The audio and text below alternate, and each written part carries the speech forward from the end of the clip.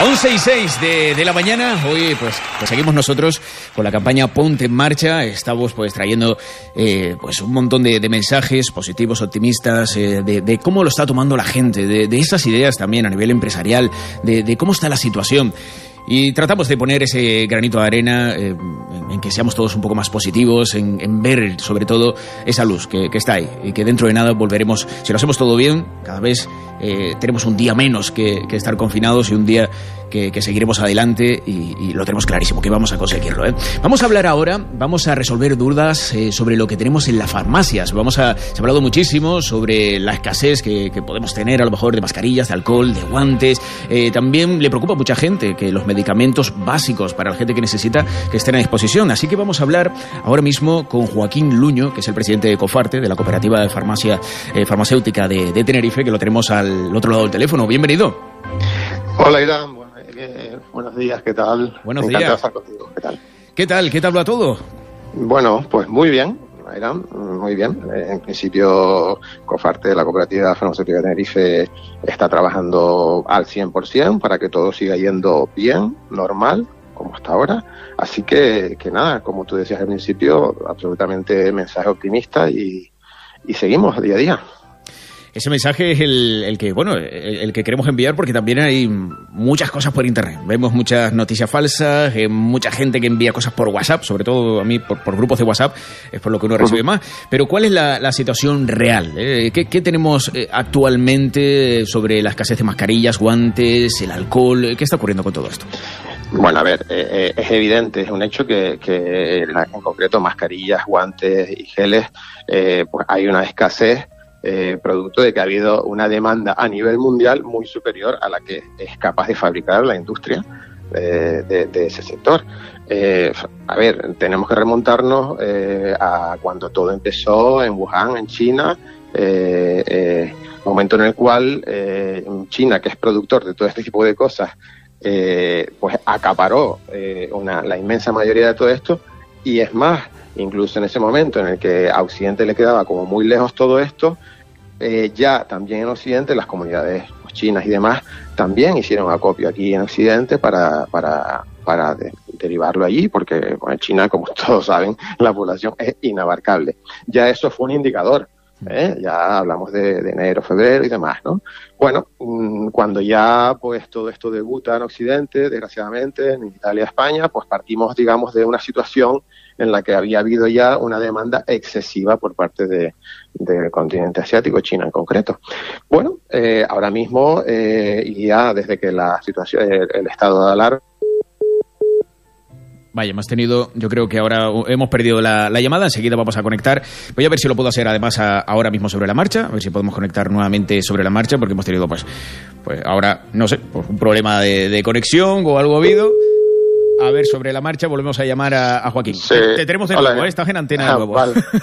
bueno, les comentaba que, una vez el estado de alarma se pone en manifiesto eh, y dada la escasez de todo este, este, tipo de productos, evidentemente las autoridades sanitarias pues de alguna manera intervienen sobre lo que hay para pues racionalizar y priorizar eh, todo este tipo de productos hacia los sitios donde más se necesitan, hacia los, los profesionales sanitarios, hospitales, centros de salud, pues farmacias también, estamos en primera línea, pacientes de riesgo, en fin, evidentemente, pues racionalizar lo que había. Esto poco a poco pues, eh, pues se va, eh, tiende a normalizarle, normalizarse, pero es verdad que todavía hay una demanda pues superior a lo que en realidad hay en el mercado. Es, es un hecho, es así y es muy sencillo de entender.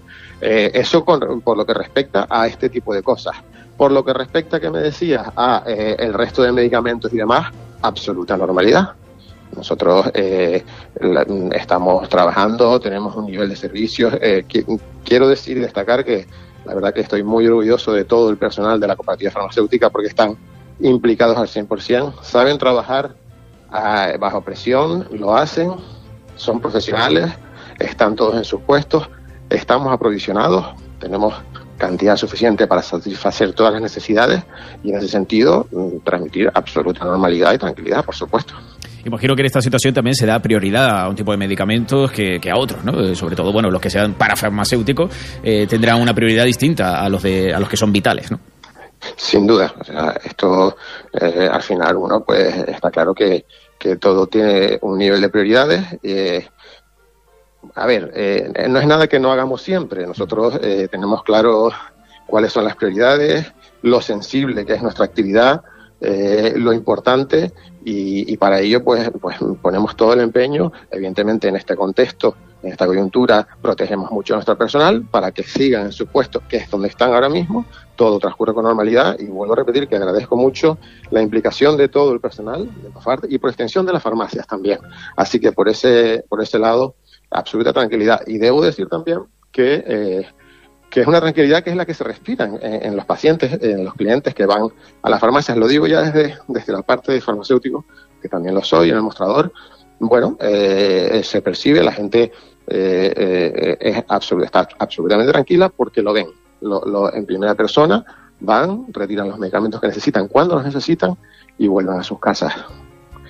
Claro, la gente está haciendo un buen uso entonces de, de las farmacias, no, no están haciendo acopio de medicamentos ni nada porque saben que, que, con esto, pues evidentemente tenemos asegurado el suministro de esos medicamentos que, que hay gente que, que, tiene que consumir diariamente. O sea, por ejemplo, para la diabetes, ¿no? Como, como decíamos, sí, eso está asegurado, sí. no, no tenemos ningún tipo de problema con ello sin ningún género de dudas. O sea, tenemos el aprovisionamiento habitual, tenemos nuestros stocks de contingencia por estar en, pues bueno, eh, en zona alejada, ultraperiférica y demás.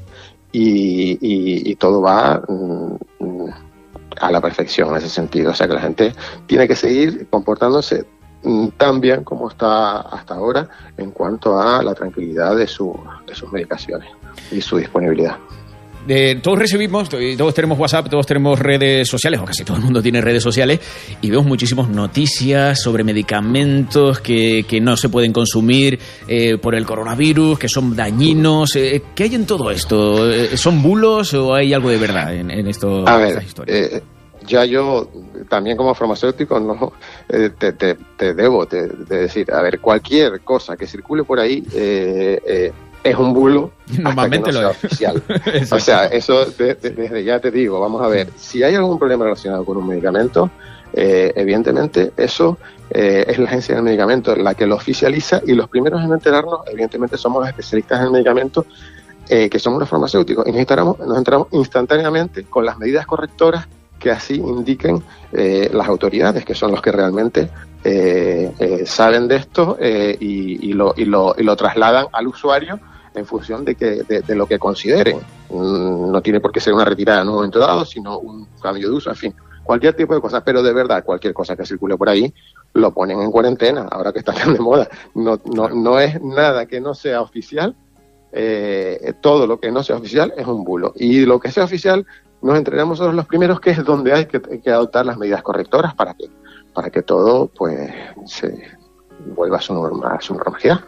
Incluso algunos eh, ha salido también, eh, por ejemplo, lo del ibuprofeno, que se decía que era, sí. que, que, era dañino, eh, uh -huh. pero pues se dijo que bueno, que no hacía nada, pero que uh -huh. tampoco era dañino, ¿no? O sea, que tampoco no, no sé en, en, qué estamos en eso ahora mismo. No, no, no, simplemente eso, o sea, no hay nada oficial al respecto, eso fue una cosa que salió, que te tú a saber, del Ministerio de Sanidad francés, no sé, algo sí. por ahí uh -huh. se decía pero evidentemente nuestras autoridades sanitarias y, y, la autoridad competente en esto, que es la Agencia Española del Medicamento, eh, en ese sentido no ha dicho nada y, evidentemente no hay nada más que decir porque no hay nada, oficial, así que continuar exactamente pues haciendo lo mismo y atender las indicaciones que, que, que, que da esta autoridad y por extensión las farmacias. Nos piden por un lado que, que, hagamos una compra responsable, o sea, que intentemos salir lo menos posible de casa. Y, y por otro lado, que, que, intentemos no desabastecer, o sea, esas compras compulsivas que solamente uh -huh. llevan a, al caos, ¿no? Y a, eh, que, que, no hay problema después de abastecimiento, pero sí que tarda después en reponerse, ¿no? Que tardamos un poquito uh -huh. en reponernos, pero que no hay problema con esto, que, que eso lo sabemos. Sí. Así que una compra responsable, ¿cuál sería? O sea, una persona que tiene que comprar medicamentos, eh, ¿cuánto tiempo, si lo tiene que tomar diariamente, para cuántas semanas tiene que comprar los medicamentos o qué recomiendan ustedes desde Cofarte que, que haga la gente para ir a la farmacia, para minimizar también las salidas a la calle? Mira, el, propio sistema ya eh, indica lo que tienen que hacer, es decir, las personas tienen sus prescripciones, hoy en día con el sistema de receta electrónica y demás, eh, eh, las prescripciones, las pautas están calculadas para que la persona cada vez que necesite un medicamento se le active eh, la disponibilidad del mismo en las farmacias, con lo cual es simplemente eh, hacer lo que estaban haciendo hasta ahora, ¿eh? cuando le quede mm, pues cierta cantidad de determinados medicamentos, saben que mm, pueden y deben acudir a la farmacia a retirar pues eh, eh, la continuación de su tratamiento que se les va activando en función del cálculo de su pauta, con lo cual está muy fácil y la gente ya lo sabe y, y, y, es lo que se ve en la farmacia, o sea que realmente pues seguir haciendo lo que estaban haciendo. Evidentemente a la farmacia hay que ir para satisfacer las necesidades, las necesidades de medicación de personas medicadas y demás no de paseo y no de nada, sino simplemente a eso, cuando eh, vaya necesitando la medicación que, que usa habitualmente, nada más. ¿Ha habido alguna demanda de, de, algún producto que, no sé, haya sorprendido?